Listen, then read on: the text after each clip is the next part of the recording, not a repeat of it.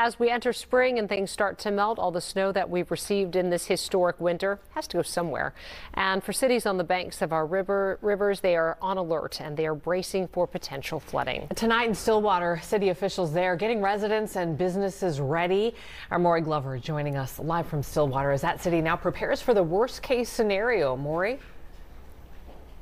Well, a couple dozen people showed up for an informational meeting tonight as the city prepares for possibly the worst flooding here in more than 20 years. It got high last year. If it gets any higher, it will get to our patio. At the dock in Stillwater, the view of the St. Croix River is one of the main attractions.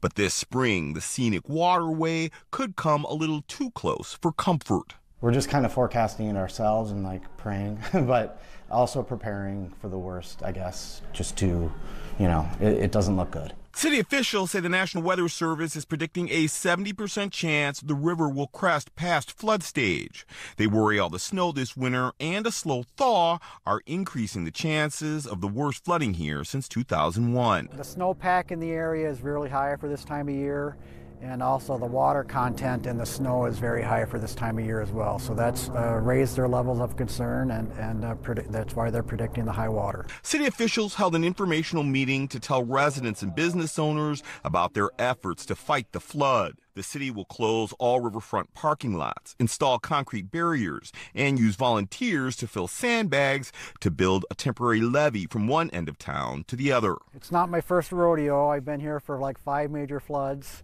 And uh, so we, I think we got it pretty well planned out. City officials say most downtown businesses will stay open, but the Stillwater Lift Bridge will also close to pedestrians for a while. Employees at the dock hope all those efforts will keep the water at bay and prevent them from having to close as well.